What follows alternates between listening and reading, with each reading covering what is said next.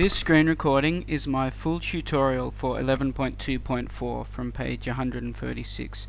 Now this task requires you to create a calculator program that uses selection in a graphical programming language and it should also allow you to use all four maths operations. I know some of you completed this last lesson but I would also like you to make sure your code is very efficient and maybe compare your code with other students codes as well and see if you have some mistakes that can be eliminated. So the first thing you need to do as always is get your green flag um, and then you want to use ask which comes from sensing. And what we're going to ask is enter the first number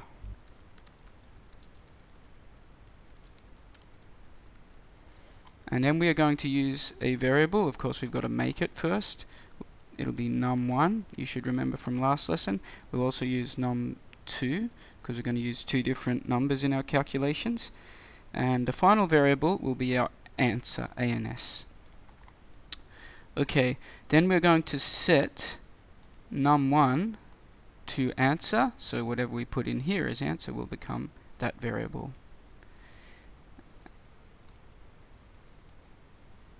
okay and then we are going to ask another question. So we can actually just duplicate this because we're using the same blocks. And we will ask enter second number and that will become num2 whatever answer becomes our variable num2 then we are going to ask some of you did this part last lesson but it wasn't done so efficiently. So have a good look at what I'm doing now. Operation plus comma, minus, comma. Remember we use this symbol for multiplication and this symbol for division. And then we'll use an if from here and an equal symbol.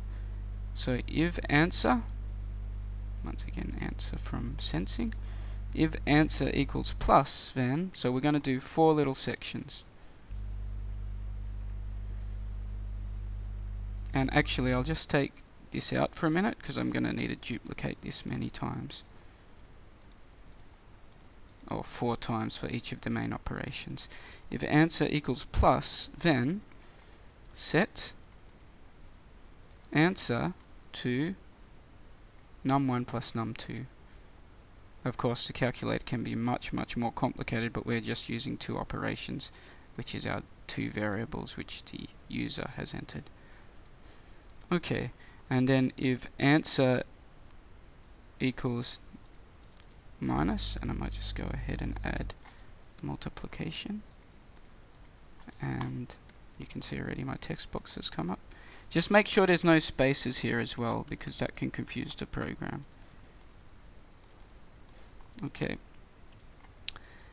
and then we'll take our set variable and put it in each nested inside each of these. And then we will put in our minus operation down here our multiplication operation and our division operation.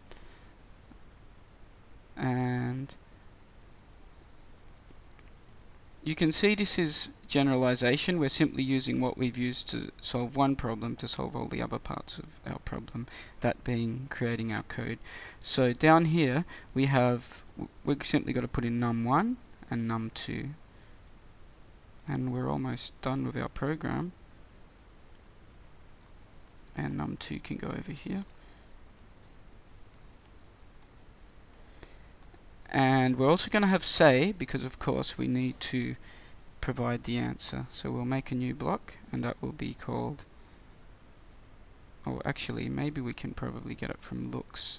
Yeah we can find say up in looks so we'll put say actually we're going to duplicate it.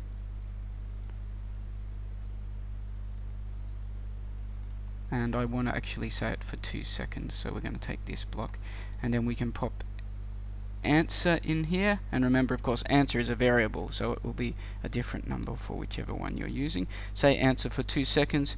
We're going to duplicate this two more times. And then all we need to do is nest it down here. And hopefully we don't have any troubleshooting but remember if your program doesn't work the way it's supposed to you will always have a period of debugging. Anyway let's run it. So let's put in the first number say 5 keep it simple second number 3 operation minus and you can see it's functioning exactly as it should as I'm sure your program is also doing